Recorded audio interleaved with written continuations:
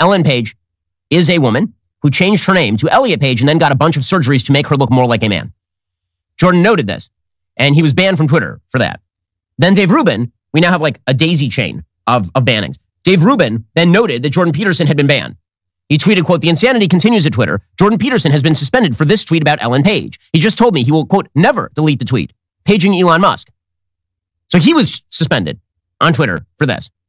And that, that, so for mentioning that Jordan tweeted about Ellen Page, which Jordan did, he was banned because you're not allowed to, it's like Voldemort. You're never allowed to say Ellen Page. If you say Ellen Page, Voldemort will show up on your doorstep.